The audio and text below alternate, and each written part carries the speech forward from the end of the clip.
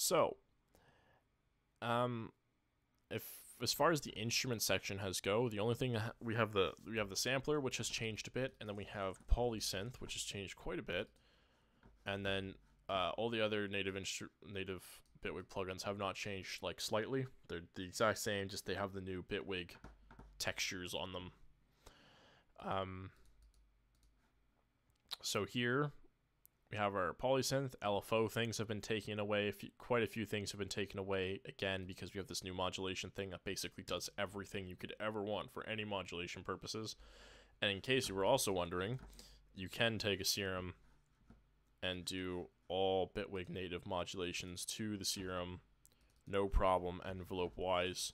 Come in here, touch it, it's right there. Click, touch, click, like anything you want. You can search for it this is like some pretty intense modulation abilities uh, for DAW, my opinion. So we have this new thing, oscillator blend mode is new, and then we have, well, at least for me, I've never ever seen that before. And then we have uh, some things have been moved around. So like the, the glide, for example, is over here now, not, and it's called glide, not porta. Then we have a feedback option, which I believe is new. Uh, and then we have this, and we have new symbols. So if you don't know what this is, this is basically just like a left or right. Like this is like a left or right. So it's describing the movement of a frequency. Same thing here with the os oscillator FM. Is it's describing it on a spectrum point of view. And then we have this usually stands for resonance, resonance, and then we have new things here like soft, um, sine, like all this kind of stuff. I don't know what that's for. And then this means key tracking, and then this is like effectiveness, I guess. And we have curves now as well. Uh, so we have two two attacks, two decays, two sustains, two releases. One's just for like general modulation, and then the other one is for uh, oscillation. Like the bottom one is for oscillation volume, and then this one is not hooked up to anything. Uh, so yes, and then uh, unison, all this stuff. We have a new, I think we have a new width knob. I don't know if this was a thing before. And we have uh, oscillator pannings. All this stuff is the same. Sub like PW.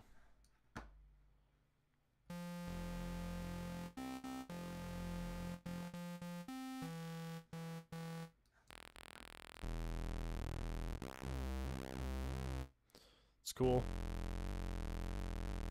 We uh, the width change starting points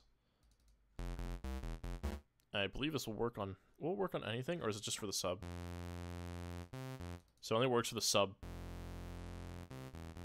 the subsection, which happens to be square, because of analog purposes. Uh-huh. So now we have this, these different options, you can read them, see what they do. Linear mix, linear mix with oscillator 2 negated for phase cancellation, up from oscillator 1, down from oscillator 2, mix equals split.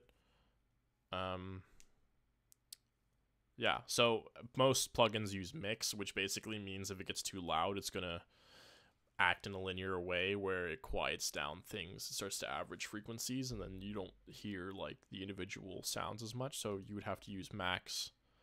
So then that way nothing is blended and it just stays and it's not linear, mixed, or anything like that. Um, yeah. So this is what polysynth looks like. No difference. Oh my gosh, and then we have so many of these plugins. So on the, we have audio receiver, looks a little different. 8-bit, new graph, still same functions. Blur, uh, same exact functions, except now we have like the things uh, graphed to this. So if I move this up, it moves like like this. It's like an XY graph now, and then we have like this the millisecond delay up here instead, so it's a little friendlier and nicer to use for modulation. If you want to record automation now, it's like much easier because you don't it controls two things for you at once, three things. Uh, we have chorus. This has a new little thing, so basically it just shows you like how your current setup is going to react. Um, so what, this one here. So like, how is this going to work? You turn it to a triangle if you want, and then this is going to show you how it's going to perform the phasing essentially based on the settings you've picked. Um, is it going to be lined up or not? Or is it going to be like dead center out of phase like that? Um, and then like how much to an amount or is there going to be like none or whatever? and then stereo width, but this graph just for fun. And then we've got comb. Now we have XY, so we have like res resonance or feedback up here, and then we have like what area it's going to target.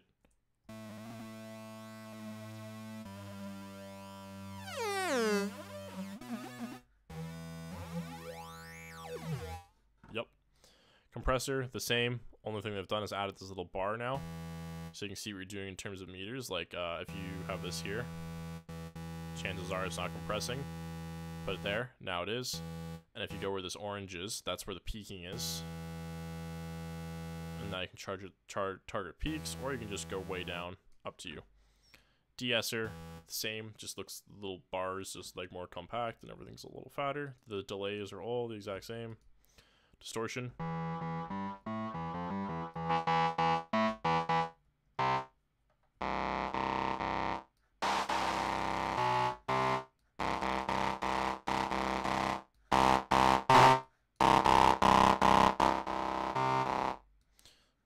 Interesting now.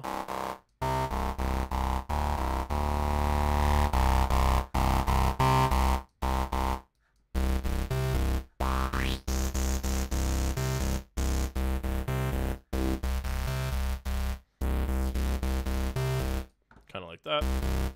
So it has a nice little feel to it now. Much more friendly, in my opinion, than the previous one that was just some knobs. Has a really nice Bitwig feel to it now. Um, dual pan. This is another kind of complicated topic. When you pan something in a panner, like this, I'm moving the sound source left to right, so I'm changing where the sound is coming from. Uh, all this does is it changes like the actual left and right information. So when I do this, it's all it's done is lowered my right headphone, and you might be like, "Oh, well then you've changed the sound location, and now it's actually on the left side." Well, no, it's not. Um, this is like the default panner in Logic, and it's actually like super annoying because it's not proper panning. You can't use this to actually dictate locations of instruments in rooms and correctly pan. This is just like a phasing and like trick. This is basically like a phasing and volume trick at this point. This isn't like actual actually moving the sound source. It's it's changing how you perceive the sound source, which is a big difference. Uh, so remember that. And then dynamics, the same.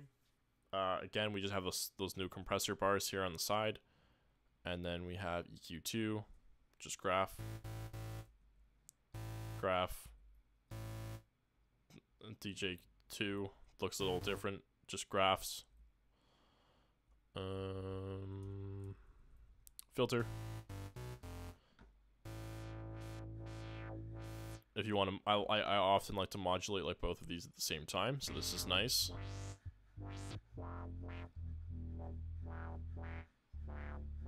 You hook these, hook these up to macros or modulations, get some pretty interesting results. And then again, the pre starts at like negative six all the time, and then you always have like what like some sort of resonance, like somewhere around like sixty, and then it starts like over here. So then what I've done is took off resonance, stopped pre, saved as new default, saved as default press preset, and then it's open. So every time I oh every time I load, oops, this. After I've messed around with it and done like silly things, and then I load my default. Load the default. It's not working. Probably because I still have it in browser mode, but like it it does what I want, which is nice. And then flanger. Little different looking. See what I've liked is they've kind of like suggestively enlarged the most important knobs to be like, oh, try this. To kind of give you a little bit of direction when you're using things now, which is nice frequency shifter. We always had that. Uh, we have these new analog geek plugins, so get excited for that. We have ladder, still the same. Oscilloscope, I believe this is a new. You can close that if you want, so that's that's cool. Peak limiter, exact same. Phaser, new.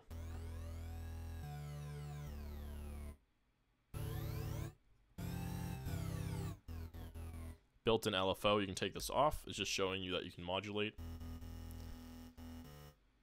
Now it doesn't move.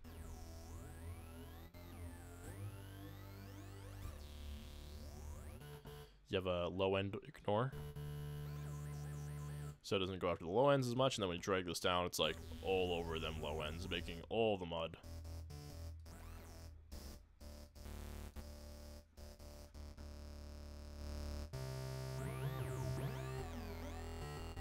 Thirty-two poles. Coolest thing ever. Check this out.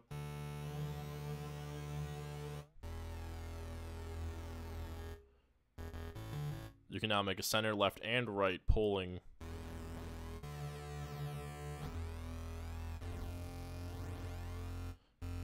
To make things super stereo. That's so cool. Pitch shifter. New.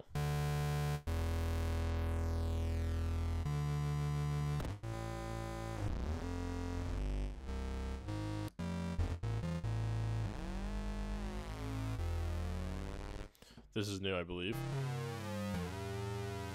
cool sounds come from that, obviously. And scroll, scroll, scroll, scroll. Replacer. Still have no clue what this does. Resonance bank. Oh god.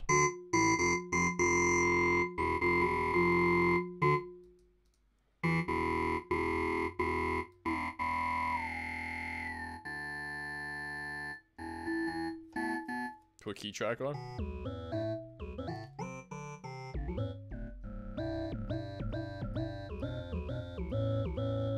Cool effects for drums. Pretty, pretty cool. Reverb. This blew my mind because like the only other reverb plugin I know of that actually has like a before and after spectrum of the reverb would be FabFilter Pro R, and that's like brand new. So that's super cool. This is the exact same in functionality again. Uh, knobs of bigger importance are a little suggestively bigger, like more uh, like that, and then we have the buttons have. You can now see all the options instead of before where you just had a bar, like a little thing, a text thing, it just said room, and you just dragged it and it would switch to whole. Uh, now you actually have a button for it, which is really nice. Ring mod, rotary. So they sound like, in case you didn't know, this is new. And if someone's gonna ask me like, oh, how's the spectrum of Bitwig? Like, how does um is it accurate? Uh yeah, totally. Like you could actually use the spectrum analyzer easy and it's somewhat comparable to like the PAZ analyzer from Waves in terms of like actual relevance. So I I I've used I used it actually to mess around and like master uh, a song and I was pretty pleased with the results. I did like the, uh, the using the Bitwig EQ and spectrum analyzer uh, in mid side and doing EQs like that, I essentially got to the same place that I would have went with, uh, like say FabFilter Pro Q. So that's cool. Step mod. This is still like an actual device, just in case. Um, but then there's still the modulator option as well. That's not Bitwig. Good old test tone. If you don't know what this is for, this is essentially for um, either tuning or what they use this for is to check the frequency response of of uh, speakers. For example, I can I can hear 19.5k hertz, and my headphones cut out around here, so um, so they can test your your actual range.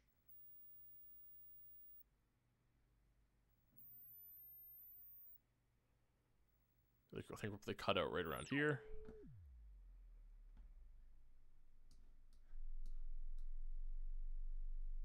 I can hear this. The accuracy though is probably really bad.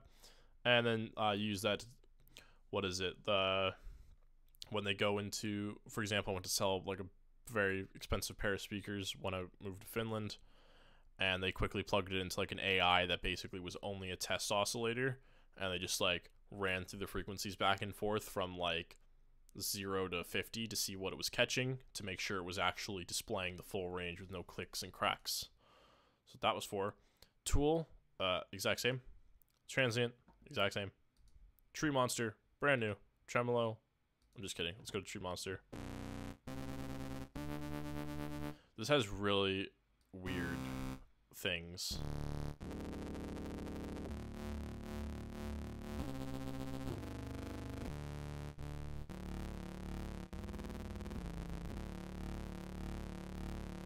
I really like Treemonster. I'm going to use this all the time now.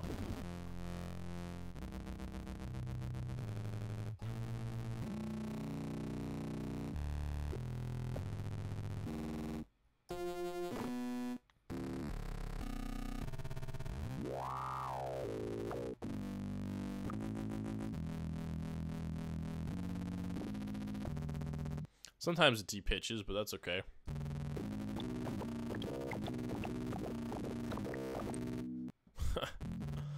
That's the thing, though. It's a it's a special type of reactive ring modulator, and then that is it. Then we have XY effect here. So that's that's all there is here. What's this? Oh, okay. Oh, so this is like that four quadrant thing, essentially. Okay, cool. Good. That's that's it. I'm probably gonna split these videos up into three sections. One where I just quickly talk about new features unrelated to the devices, and then then I'll do the modulator separately, and then I'll do these devices separately, and uh, then everyone will know everything they need to know about Bitwig. Bitwig's beta. So, yeah. Thanks for watching. Peace.